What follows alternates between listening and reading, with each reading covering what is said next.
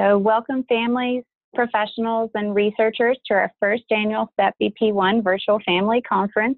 Yay! I still can't believe Simons VIP Connect has provided us this unique opportunity to connect, to ask questions to knowledgeable experts in the field of neurodevelopmental disorders, and to learn more about SETBP1 disorder, which impacts all of our lives in a substantial way. Thank you, Dr. Wendy Chung and by Simons VIP for acknowledging the challenges our community faces. Sorry, Wendy, if you were speaking up. and, and adding our gene to your list of genes you research and focus on. And also thank you, Dr. Wendy Chung, for collecting, organizing, and taking the time to present your findings to our community today. And thanks, Lindsay Cartner and Caitlin Singer for all your help and for taking care of the communications and logistics for this conference.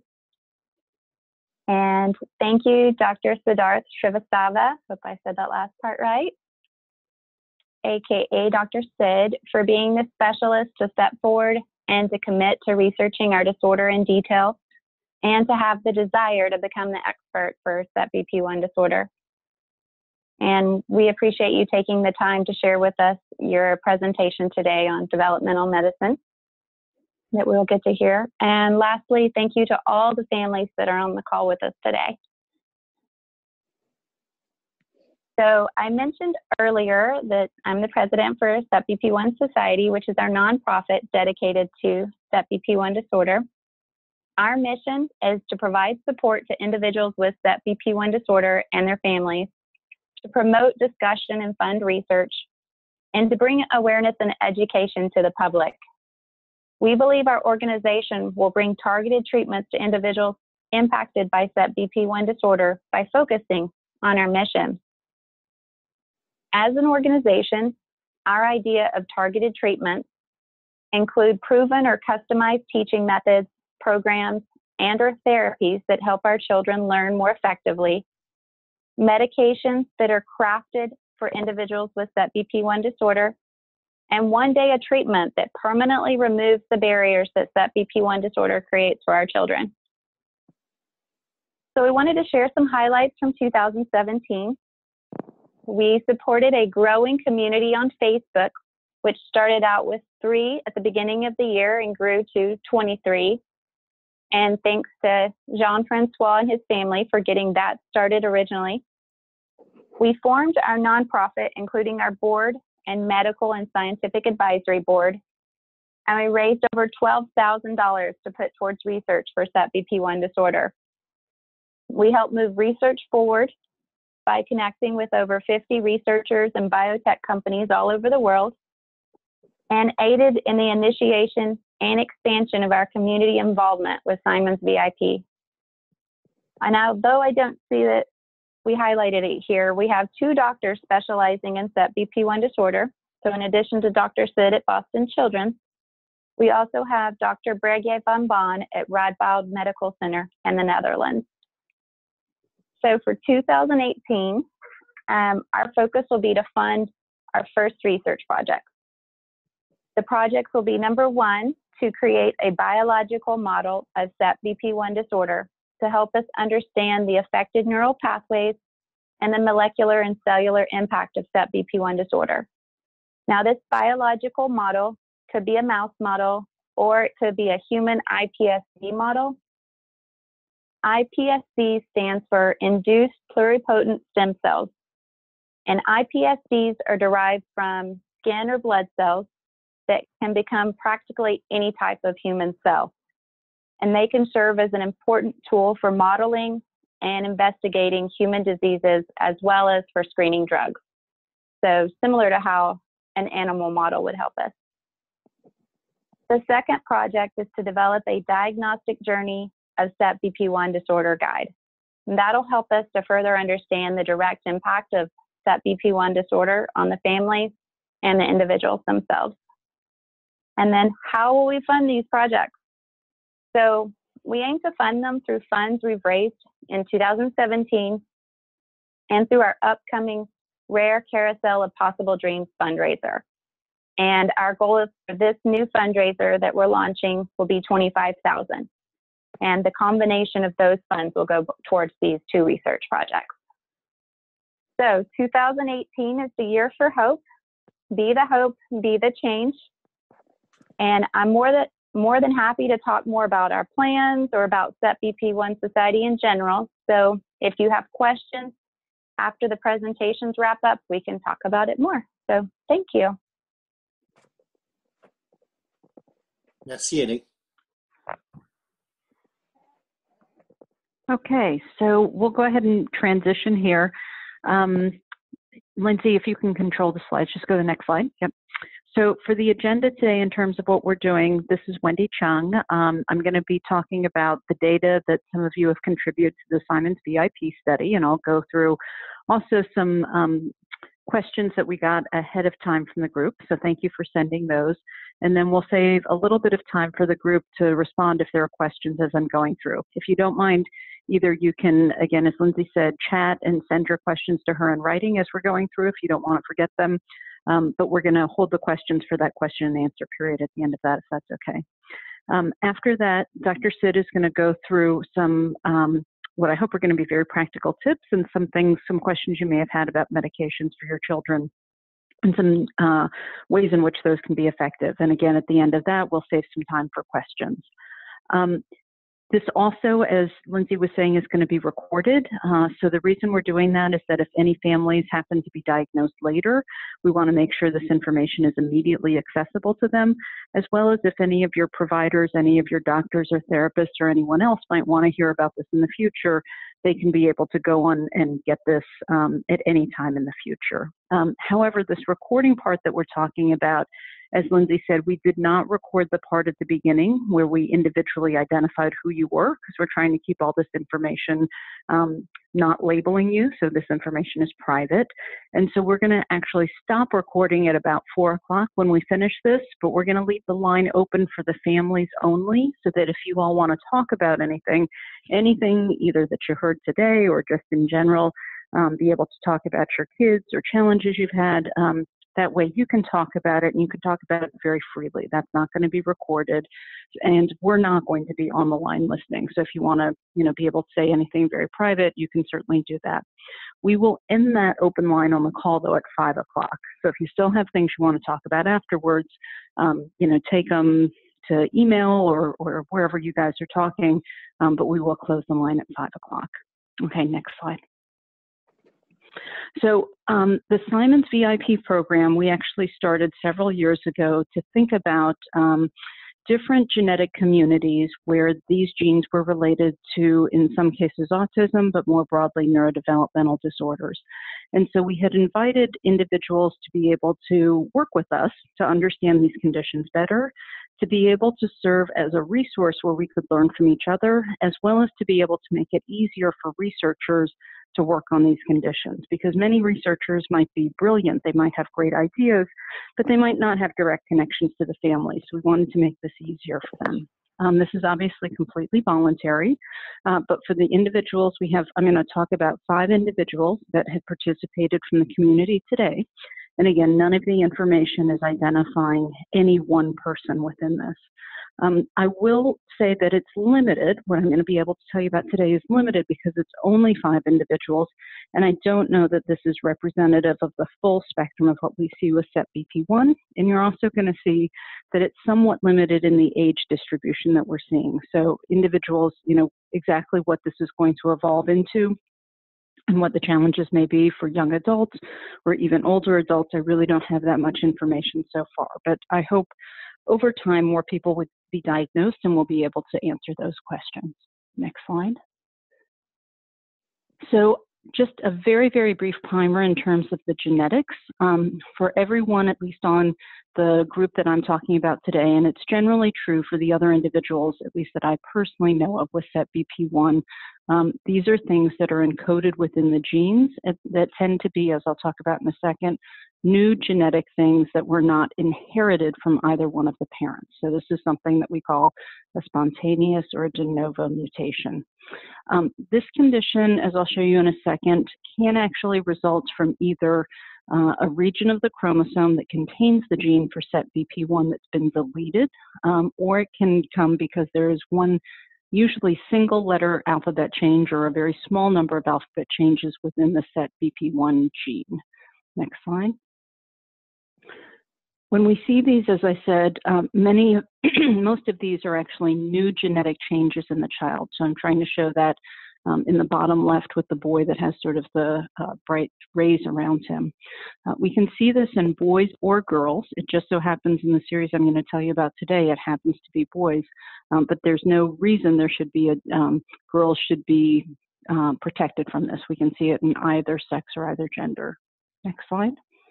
Um, because these are new or de novo genetic changes, uh, for anyone who might be thinking about having other children, any parents of a child with a SETBP1 change, there's a very, very low risk, um, but it's not zero, that it would happen again. So what I mean by that is the genetic change itself could theoretically occur in the egg or the sperm and could be present in additional egg or sperm for those parents. It doesn't happen very often, but that could be the case.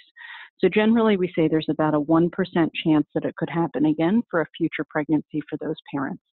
For the siblings of a child with SETBP1 or more distant relatives, cousins, nieces, nephews, things like that, they really don't have any risk. So we're not, excuse me, we're not really worried about those other relatives. In theory, if an individual with SETBP1 were to have children of their own, then there would be a 50-50 risk for that person to pass it on. So that may or may not be an issue for certain individuals, but theoretically that is, um, you know, that's what would happen in terms of them having children in the future. Next slide.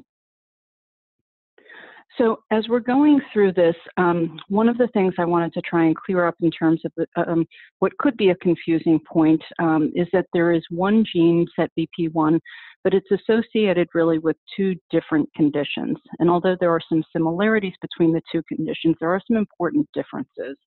So there's a condition that was actually described a while ago called Schinzel-Giedion syndrome, and I want to be clear that is not what I'm talking about today. Um, that condition is again due to changes in SETBP1, which I'll show you in a second, but it's due to that gene being overactive or being in overdrive and we call those gain of function mutations.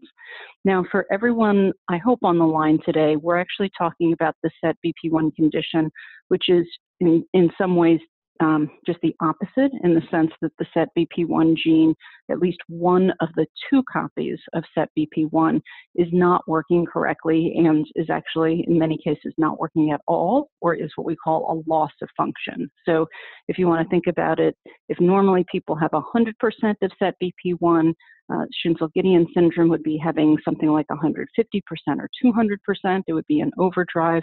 And for your kiddos, they would actually have more like 50% or less in terms of that. And that can either be due to, as I said, deletions of the whole region on the chromosome around SETBP1, or maybe due to specific changes within just the one SETBP1 gene. So for individuals that have deletions of SETBP1, uh, the other distinction I wanted to make is if they have other genes adjacent to SETBP1 that are also deleted. So if it's what we call a multiple gene deletion, they may have additional features and things may be a little more challenging for them. And so the reason, again, that I make this distinction is that within the community, as your community grows, there may be some heterogeneity or there may be some differences between individuals. And if you compare, you know, if you compare one to each other, um, it's important to know what type of change, genetic change there is in SETBP1 so that you'll know whether or not we're talking about apples and oranges or apples and tangerines, um, you know, or apples and potatoes, because um, there can be some differences even though we're talking about the same gene. The final thing, uh, and I'll point this out a little bit, is some of the changes that we see in the SETBP1 gene. We have a guess, and I think it's a pretty good guess about whether these are lead to what we call either the hyperactivity or the gain of function or the loss of function, but I don't think we know this absolutely perfectly yet. We haven't done actual experiments to determine the difference in all cases. Okay, next slide.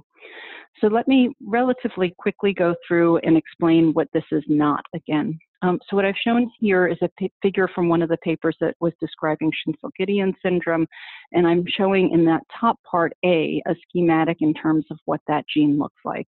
And what's very characteristic is you can see along the top of that bar um, some very specific, what we call amino acids or positions where we tend to see the changes in that gene. So it's amino acids 868, 869, um, 870, or uh, 871. Those four very specific amino acids are located, and I won't go into the biochemistry, but it's, it's localization within exactly that place that's associated with Schinzel-Giedion syndrome. Now, the reason I make the distinction is because there also are some cancers, in particular some blood cancers, in which we only see changes within that gene and it can lead to cancer. And individuals with Schinzel-Giedion syndrome themselves, if they have those changes in those specific places, can also be associated with an increased risk of cancer.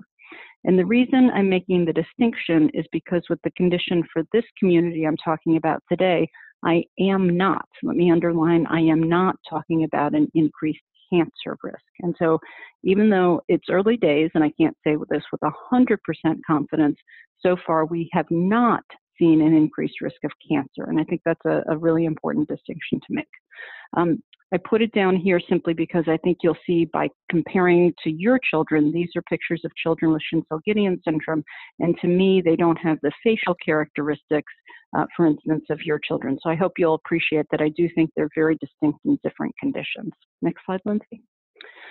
So um, as we're talking about this, by contrast, um, for this community that we're talking about, the change we're talking about in SET BP1 um, are changes where we are ramping down the function. So again, on that top line, what I'm showing you is that there are individuals who have deletions um, that have a missing part of the chromosome that includes SET BP1, and the length of the different red bars is to represent that different individuals have different size deletions. And again, the larger the deletion is, it includes more genes, sometimes genes beyond SETBP1. And in general, the bigger that deletion is, the more significant the impact is and the more challenges the individual can have. What I'm showing you in slide B in the middle there um, is that what you can see in contrast to the Schinzel-Giedion syndrome, the changes that we're seeing uh, in the community that your children represent really are much more spread out throughout the protein, throughout the gene. And so they're everywhere from, uh, again, I know it's a little bit hard to be able to understand this, but starting from the left, um, that that number 15 in the middle tells us it's at its 15th amino acid, so it's close to the beginning of the protein. It can be at 15 or 143 or 411 or 532 or 592, but you can see that it's spread out through many, many different locations, not simply at those small number of positions that I showed you within the last slide. And so many of these also I won't go into too much detail, um, but for the slide I showed you before, those were changes with just one amino acid or one protein building block to another. So they were relatively subtle and specific changes.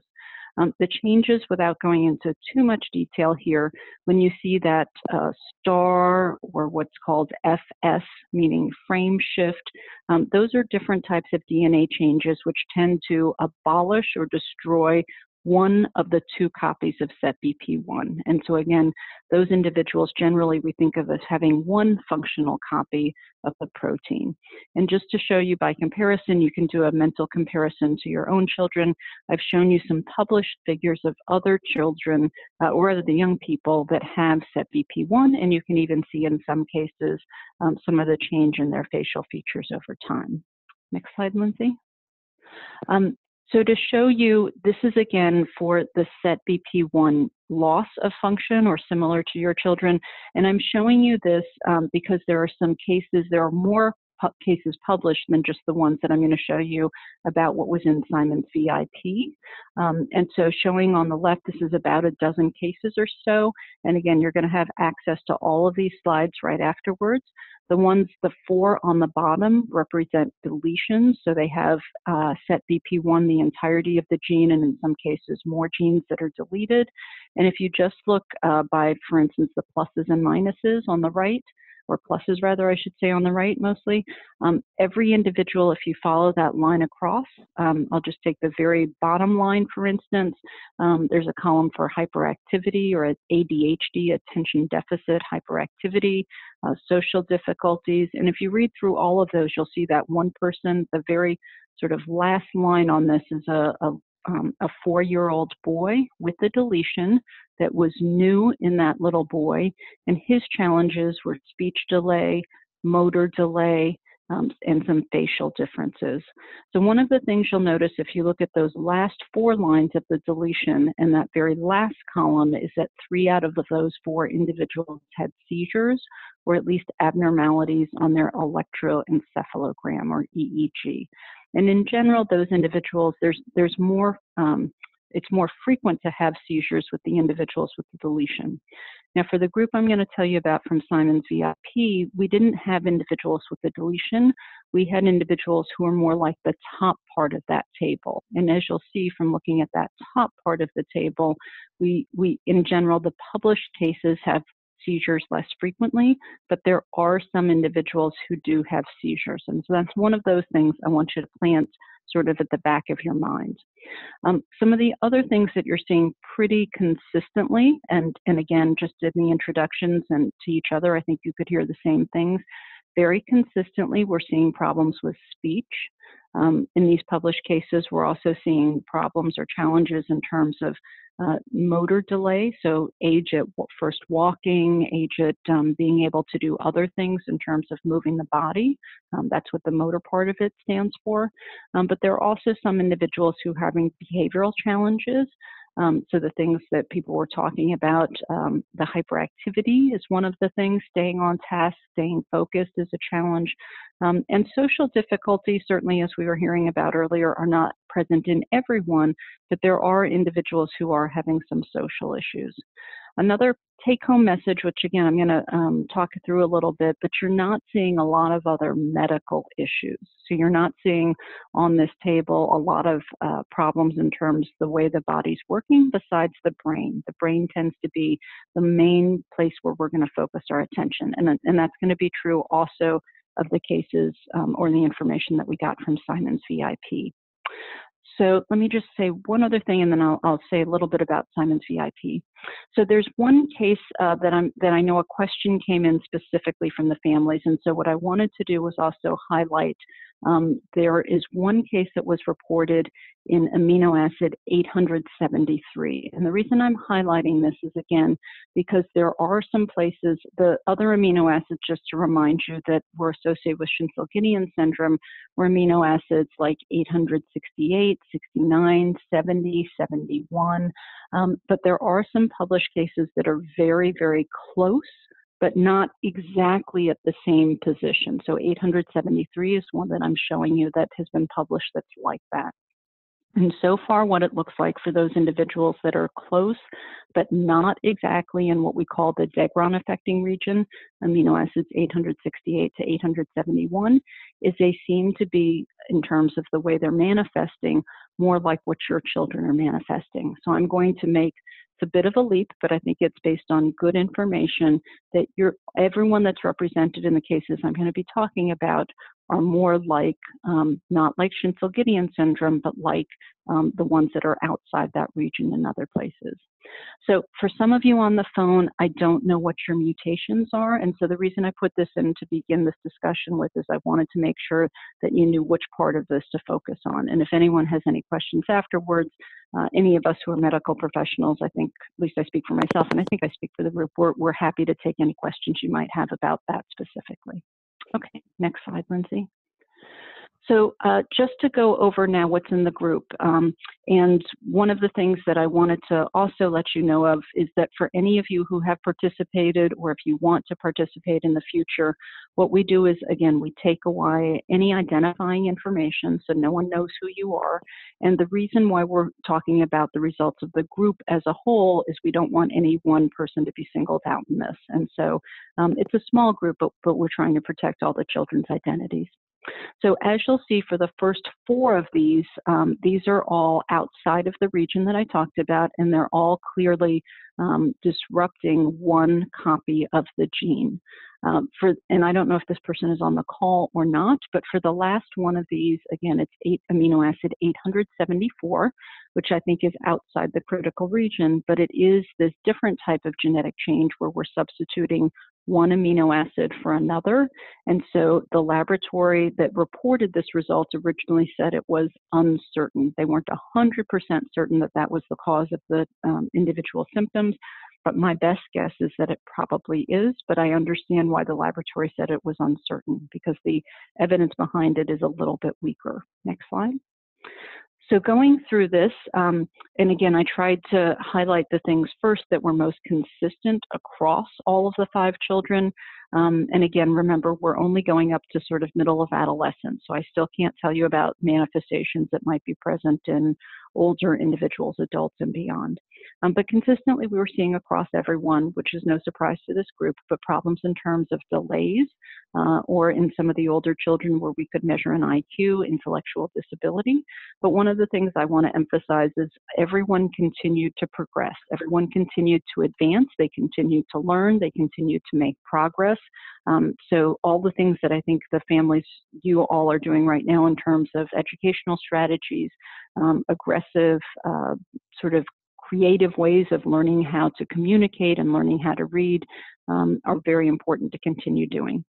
Within this, in terms of impairment, certainly expressive language in particular was challenging and difficult. I do think the kids understand a lot more than they're able to communicate, um, but specifically expressive language was a challenge.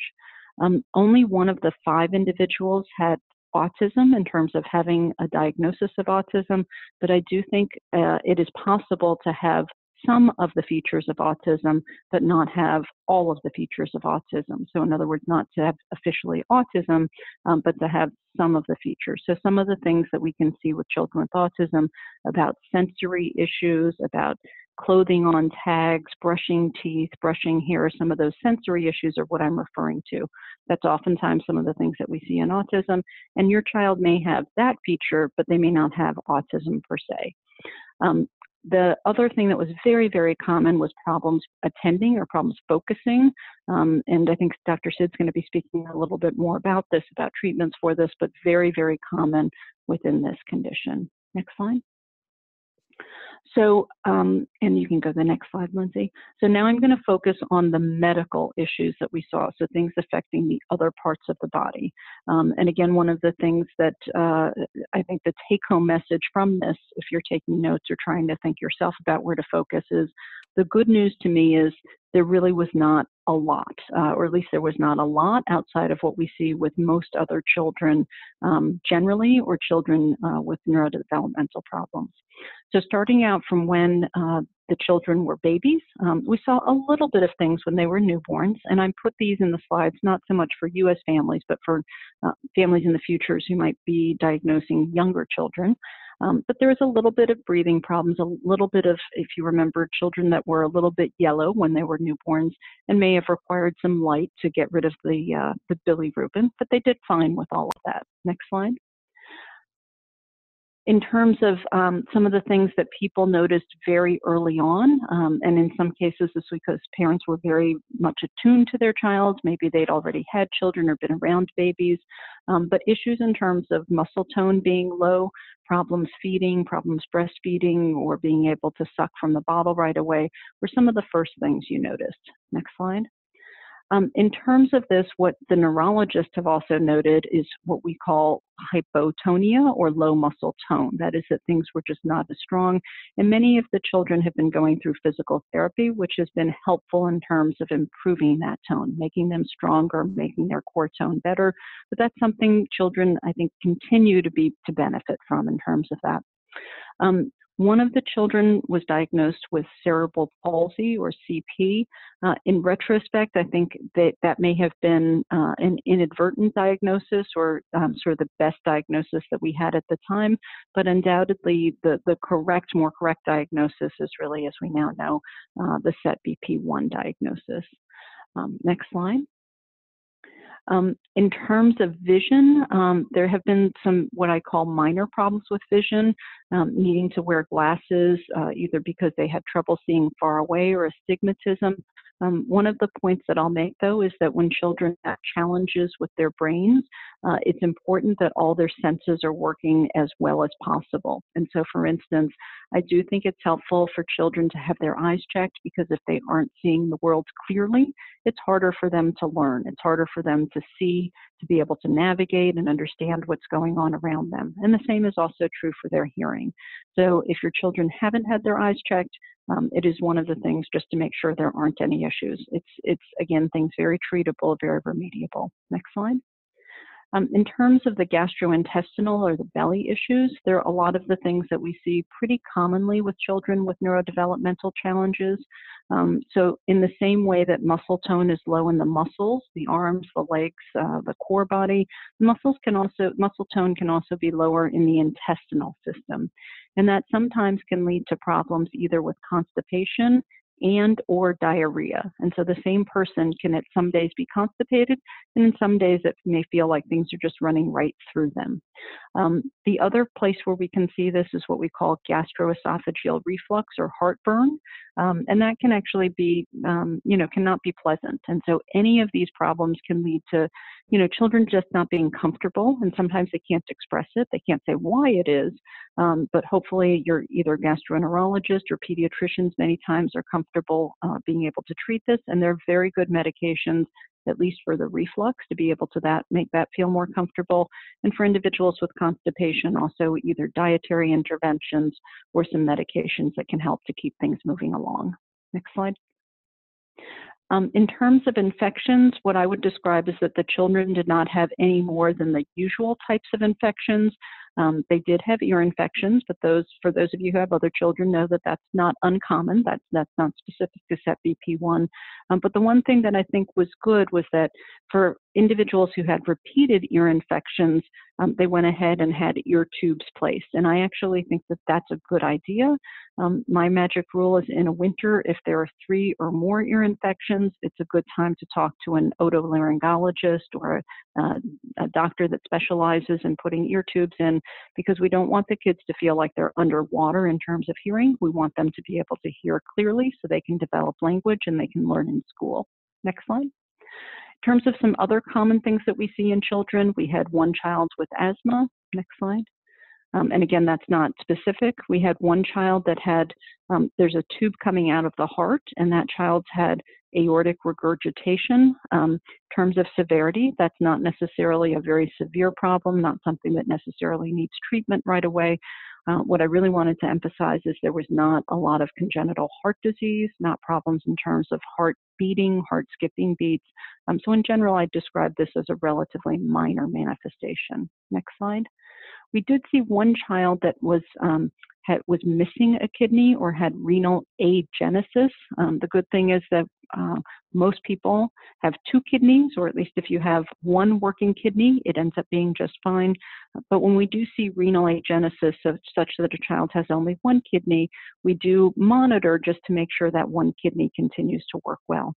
Again, these are very, very small numbers, uh, but if your child has not had an ultrasound to be able to document and look and see that there are two kidneys, um, this is something you might want to share with your pediatrician as a possible manifestation with this, just to make sure we know that the kidneys are there, that there's no problem with water on the kidney um, or any other anatomical problems that might um, pose a future risk. And again, I don't think this is anything immediate, uh, but just as kind of a health inventory. Next slide. Um, again, remembering that these are boys that we were talking about in this series, we did see that it was relatively more frequent to have undescended testicles or testicles that may still be up in the abdomen or uh, up in the belly. Um, we also saw one boy where the opening at the end of the penis was uh, was placed a little bit differently. Um, the one thing that I'll say is that if the testicles don't come down on their own, it is important to have surgery to be able to kind of tack those testicles down in the scrotum um, because if they stay up in the belly, they actually can be associated with an increased risk of cancer in the future, increased risk of testicular cancer. So it's not something that has to be done when the children are little, but if any of you have boys that are older, and if the testes haven't come down by, you know, the time the children are seven, eight, nine years old, um, or even perhaps a little bit younger, it would be good to have them tack down, have them literally just um, down into the, the scrotum. Next slide. Um, in terms of how the children are growing, in general, they were growing well, um, but especially early on, there may have been some trouble eating, and so that may have been associated with some slower weight gain. Next slide. Um, again, I want you to remember that the children that we're reporting on are relatively young, but there was one child with scoliosis or curvature of the spine, and it is one thing that as your children get into the teenage years and adolescence, uh, it would be good for your doctors to keep an eye on that because that oftentimes happens more frequently when they're teenagers. Next slide. So altogether, uh, as I said, the nice thing to me is that the, the what we were seeing in terms of surgeries, we didn't see too much surgical burden, and we tended to see that once these things were done, they were taken care of. They didn't have to be repeated. And so the main surgeries that we saw were things like the tonsils, the adenoids, the ear tubes, and as I was alluding to before, um, the surgery that's called orchiopexy is how they um, keep the testicles down in the scrotum, or the hypospadias repair being able to um, surgically fix the penis. Next slide. Um, in terms of special diets, uh, in part, I think people have been trying to see if there's anything that they could do that could help with some of the challenging behaviors. And so people have tried a variety of things, um, everything from a gluten free diet, and there are lots of foods now available that are gluten free or eliminating dairy from the diet, lactose free. Um, and this is something I don't think it's harmful if you try it. I, I don't think we have enough evidence yet to know whether or not any of these make a significant impact but certainly we'd be interested just in terms of if you have tried things, you know, what's worked, and, and I'm sure it's something good to share amongst the families. Next slide. Um, Dr. Sid is again going to talk a little bit more about medication specifically, um, but within the group there were a variety of medications that had been tried for ADHD as I was alluding to, um, the good news is that at least in this small group, we didn't see that seizures were very frequent. It's not that I think that they can't happen, because as I showed you from some of the published cases, clearly they can, but at least it doesn't seem like it's a common problem. Next slide.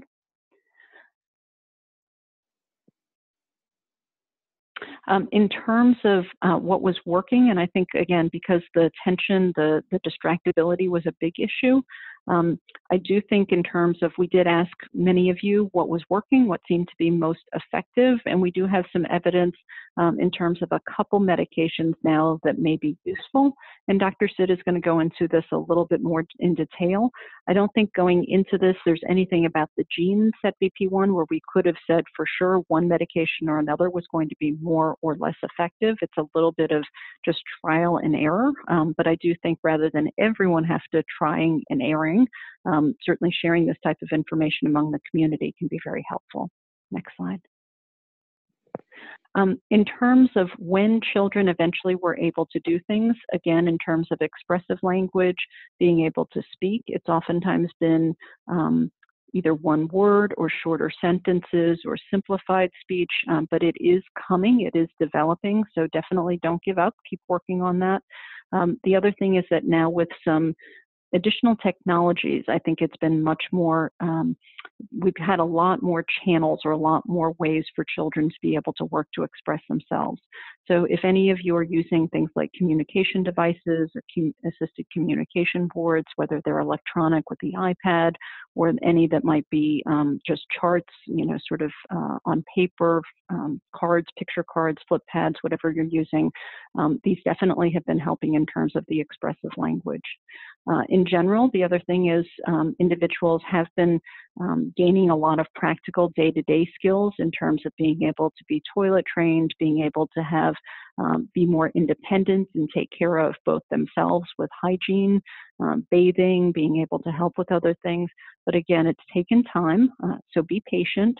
But as you're focusing the educational plans both at school and reinforcing them at home, certainly work on some of those day-to-day activities and, and helping the children to be as independent as they can be. Next slide. So in terms of this, um, you know, we've given you all the information we have, but clearly there are still a lot of unanswered questions. And part of what we like being able to talk with the families about are what are the important questions to you that remain unanswered. Um, the ones that I could think about and put these down um, were just, again, as I said, are there ways that we can teach the children better, either strategies, especially for reading, strategies from communication, um, things that work in terms of, again, very practical day to day things that can be helpful. Um, and if we need to use medications, what medications seem to be most effective, both in the short and the long term. Um, some of the sensory issues, um, besides just avoiding them, um, there can be ways of being able to sensitize individuals. In other words, letting exposing them little bits at a time until they can um, feel comfortable with some of those sensory issues. And those are especially important when it comes to things like brushing teeth, um, just in terms of dental hygiene. So there may be some strategies that you've thought about um, that can you, you can share with each other. So next slide, Lindsay. So just in summary, uh, again, most of the issues that we were seeing were associated around neurodevelopmental issues. Um, I want to point out that we did not see any regression or individuals going backwards or losing skills. Sometimes if the skills aren't firmly grounded, they may not stick. Um, and I don't mean that by regression, but when kids really, really have mastered something, um, completely losing that. We have not seen that. Again, in this small group, we didn't see any seizures, although they can be seen. And importantly, either in any of the published series or in anything we saw, we didn't see any cancer associated. Again, the kiddos are still young, but we haven't seen that yet. So let me just quickly go through the next couple slides because people often ask about this. Um, there are remarkable advances that are being made in terms of gene therapy and gene editing. Um, the very short story that I'll say right now is that this is looking promising uh, as a general strategy, but we're not there yet in terms of doing it for anything like SETBP1 or similar conditions. I'm not saying it won't ever be possible, but right now it's not something in the short term we can depend on. So it's important for us to keep doing the day to day practical things you're already doing. Next slide. The idea is that there's new technology that's being developed to be able to literally uh, take and correct one single letter in the alphabet, um, which is what really your kids all have, is one single letter that might be changed. Um, it is important that this be tested out very rigorously and that it's very safe because in prior attempts to use gene therapy in people, there have been places besides the target where we were trying to change the genes um, that have resulted in what we call off target effects, which have even led to cancer or deaths in those individuals. So we want to make sure this field is developed really safely before we start trying it um, in our patients. Next slide. So in terms of being able to advance this, and uh, I think Haley had the exact right idea, we are trying to make this easier for you all and make it easier for researchers to help you. And so with Simons VIP, what we've been doing is any of the data that you're putting in, we're trying to minimize the burden for you all so that as you're putting this data, you can participate effectively in hopefully dozens of studies. That is, that researchers who are interested in this can come to Simons VIP and be able to get your information and learn from you without you having to answer the same questions over and over again. And so this information is available uh, de-identified, but to any researcher around the world who might want to be able to study SETBP1. And um, we hope this continues to grow over time. For those of you who are, have already participated, we actually come back to you on an annual basis to see how your kids are doing. Um, and as we're doing this, we also, if anyone deposits anything like blood cells or skin cells uh, in Simons VIP, these can also be available to any of the researchers so you don't have to get cells taken multiple times. Next slide. Um, so as we're doing this, uh, we obviously want to help that hope that more people get the right diagnosis and that this can um, make the group larger over time. Um, as I said, one of my sayings is the care until the cure. So we want to make sure that before we have a definitive way of being able to treat this condition, we continue to support your kids and learn from each other as we're doing it. And as Haley had said, um, be able to help the research community by um, accelerating and catalyzing things like the development of cell lines in mice. Um, and if we can at Simons VIP also learn things from other conditions that are applicable to SETBP1, be able to share those with you as well. Next slide. So one effort that we have at the, uh, at the Simons Foundation to increase the size of the SETBP1 community is a program that's called Spark for Autism. Um, Spark stands for Simons Foundation Powering Autism Research for Knowledge. And if any of you are in communities or have um, for instance, at your children's school or maybe some of their therapy programs, individuals who couldn't get access to the exome sequencing that made the diagnosis for your child. Uh, Spark for Autism is a study of individuals with autism, so they have to have autism, but if they do have autism, they can register and they can be mailed a kit to their home where we can collect saliva or spit to be able to do that exome sequencing to make the diagnosis. It may not be that they have SETBP1 as a diagnosis, but if they have any genetic um, cause of autism that we recognize, they have the opportunity to get that information returned to them through the study, and it costs them nothing. Um, so that that's one of the things that we hope will have many individuals with SETBP1 diagnosed in the United States that'll help grow your community so that we can learn more faster. Okay, next slide, Lindsay. I'm going to um, just want to acknowledge um, there are many people that work behind the scenes. So you've met online Lindsay and Jennifer today, um, but there are a lot of fantastic people who help make this happen and just want to acknowledge them. Okay, so I think we've got a couple minutes for questions here. So if anyone, Lindsay, I haven't been watching, but if anyone's uh, um, put in questions through the chat or if anyone wants to um, just go ahead and ask them, then I'll be glad to take questions. Okay, um, I had one question come up through the chat during the presentation, um, and that was just how are the families able to find out the size of the deletion that their child has? Okay, so for anyone, and I'm glad to do this offline, um, but you can either talk to your geneticist or whatever doctor ordered your test. If you had any of the changes, so I should have shown some changes way back at the beginning. Um, so if your changes were any of those ones that were SETBP1 and then they showed a string of letters and numbers after them, um, those are changes that only affect SETBP1. It's not a deletion and it doesn't include a larger size um, and you don't have to worry about the size. It acts effectively all the same in terms of just uh, eliminating one copy of SETBP1. If you had a change from a test that was probably a chromosome microarray, it would say that you had a change that had a deletion. And I know it's gobbledygook in those reports to read, but it actually tells you exactly the coordinates of what we call them base pairs, but what region of the chromosome is missing and how big it is. And again, um, I'm glad to go over it with you on an individual basis, or your genetics doctor, or neurologist, or developmental pediatrician can go over it with you. Um, but it's hard for me to know without seeing the specifics. So we, I'll be glad to take that offline and help anyone who needs help getting oriented. Any other questions? I think I got one. I'm Jean-François.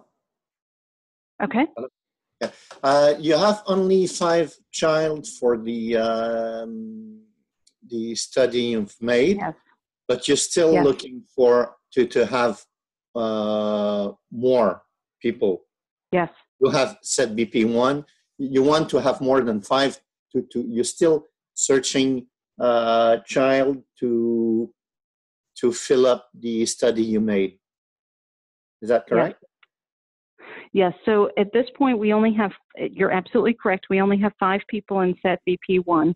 Um, we actually don't have a maximum number of people we could take. So if there were through the community, if you know about 500 more people, I don't think we do, but if you did, we could take 500 more people and be able to make this a more powerful resource for you and for any of the researchers studying it. So we have not capped it at five people, but so far it's only five people who have signed up and who have filled out all this information that I showed you today.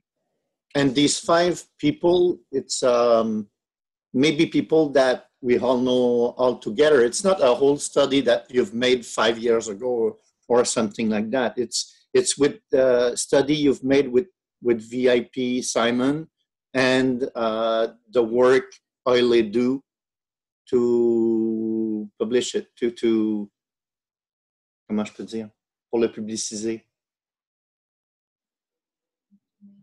So I'm not sure if I entirely understood that, but yes, you're right that it's, it's only five so far. They are mostly recently um, reporting this information, so I do think it's pretty current and up to date in terms of that. Um, in terms of the community, we're very anxious to make sure the community knows about this. Uh, on the other hand, we realize and appreciate that there are researchers, and I'm speaking as for Simons VIP, what we're trying to do is get this available to the researchers who are studying and focused on SETBP1 so that if, for instance, they want to be able to publish on large numbers of patients with SETBP1 and, and be able to have a very comprehensive um, set, that they can take this information from Simons VIP and combine it with perhaps other cases in the literature or other cases that they've established. Um, so we're not trying to, you know, be the ones studying this ourselves. What we're trying to do at Simons VIP is mostly to enable the researchers who want to study, make it easier for you and make it easier for them. We kind of, uh, kind of like matchmakers. You know, we're trying to help put people together, but minimize the burden on the families. Um, and if that doesn't happen just naturally on its own, we will figure out a way to get the information out to the community. But but we're hoping that folks that are interested specifically in SETBP1, and you'll hear from Dr. Sid being one of those, and um, you know, other people like Isabel um, around the world who are interested in this. We're trying to just make it easier for them to do their job. Okay. So maybe we have, this, uh, yeah. Oh, and this is Jennifer. I just wanted to add a little bit more information. Um, so we have uh, five people that have reached a certain point of giving like a, a, richer amount of information for us to return to you. We do have um, a total of 12 families who have at least gone in and entered their initial registration information. And so um, as we go uh, through the process over time, you'll have some families that have just started and some families that have gotten maybe midway through providing some information and some families that have provided all the information we need. So, um, so getting that message back to the family group about you know that the finding out from the study coordination team what else they need to complete um, we do have other families that are already kind of in the pipeline to to be providing that information. Okay, so it's just a question. It's just because you don't have time to put their uh, their uh, in the in this study. It's just because they, they will be in, few, uh, in further months. It will be done.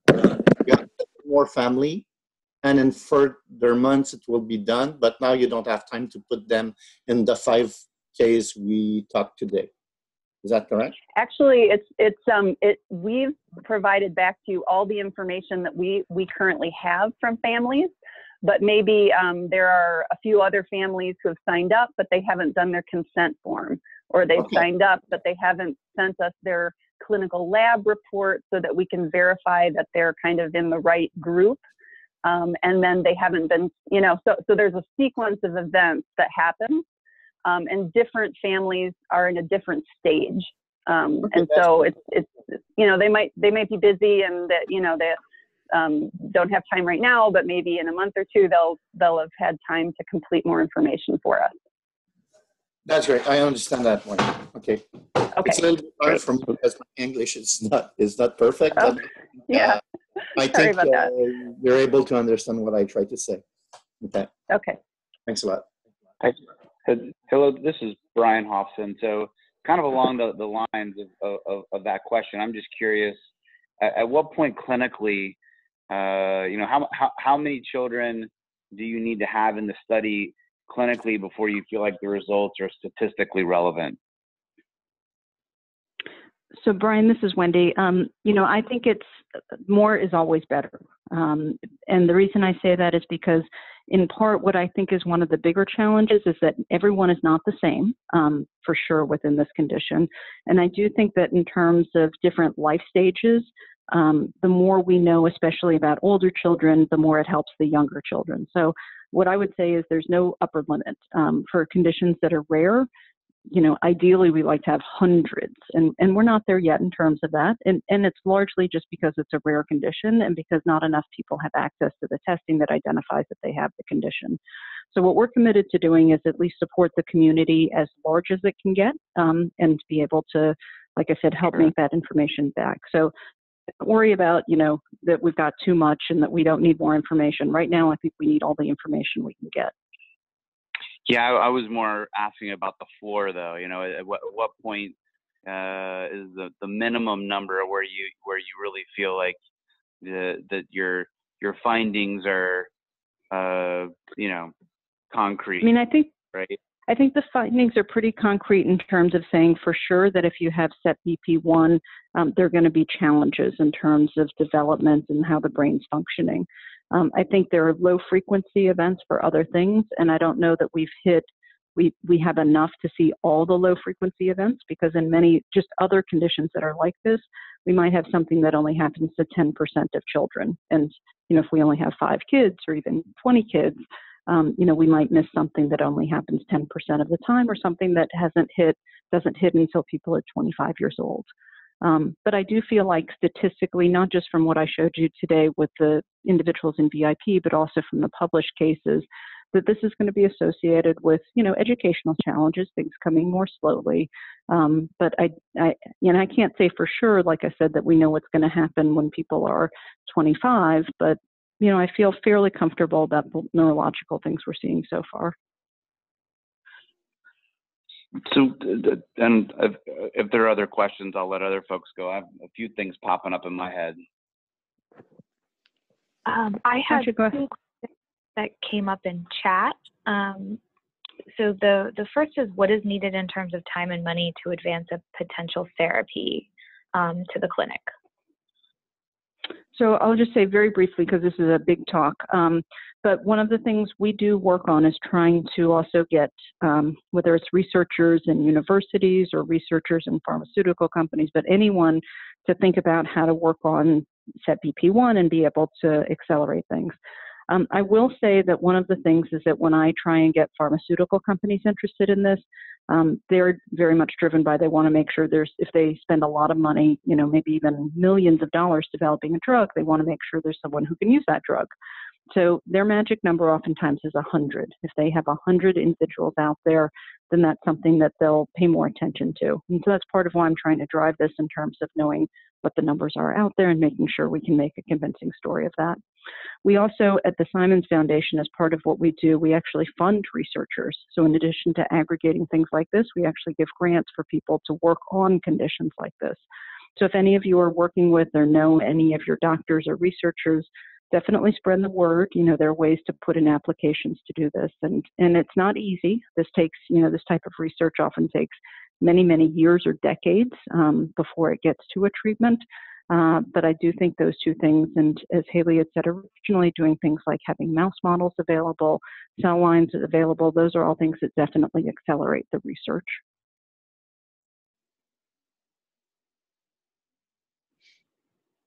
Uh, and then the second question, yeah, um, is what is the hypothesis as to why loss of function of the SETBP1 gene causes most of the symptoms present with the disorder?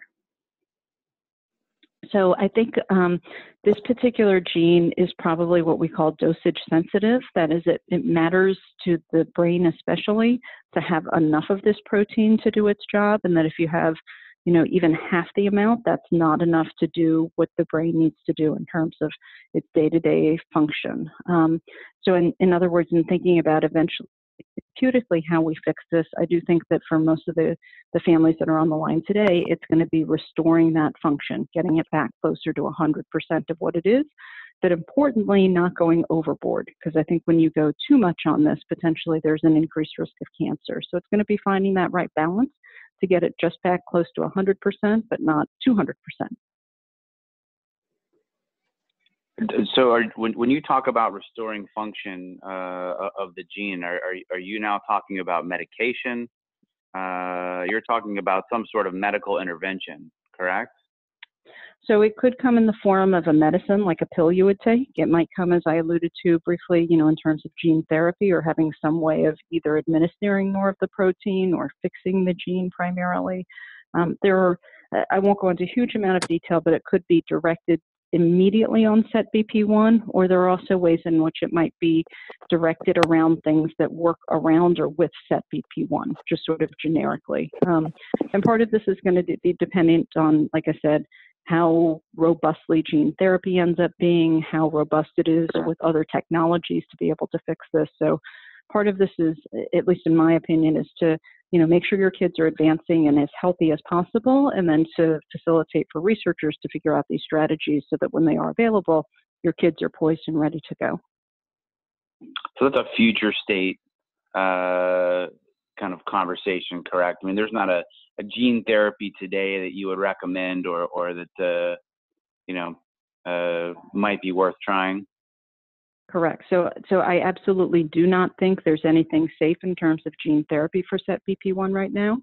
Um, I think in terms of timeline for that, we're probably talking at least five years into the future and perhaps longer um, in terms of as that science is maturing and developing.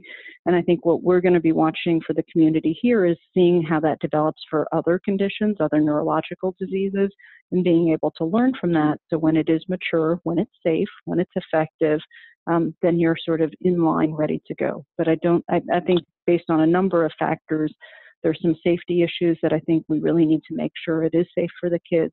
Um, and in the meantime, there's a lot of potential for them to grow, especially using some of the technologies that are available and will be available in the future to support them. Um, and so I think that's personally what I look for is being able to think about how do we, again, take most advantage of the way that their brains do work and how they are able to learn and make sure that we can, you know, treat the symptoms that they're having so that they can just be happy kids and, you know, grow up healthy and be able to be ready when other treatments that uh, are developed are, are proven to be effective and safe. In, in general, is there is there an age where gene therapy starts to become less effective? Um, It's you know, very, very good Yeah. Sorry, go ahead. Yeah. It's a no, it's a very, very good question. And one of the things that's a nuance on what Haley was talking about is there are ways of actually setting up mouse models to answer directly that question to decide, you know, is there an optimal age of gene therapy? And the bottom line is that those experiments haven't been done yet for SETBP, um, and, but I think they do need to be done before we would think about doing gene therapy in the kids. Because your question is absolutely right on target. You know, maybe this isn't going to be effective in people that are 30 years old, but maybe it's effective in people that are 13 or 3. Um, so we need to figure that out. Thank, thank you. we're just, we're just firing away. I appreciate the appreciate the Okay. information.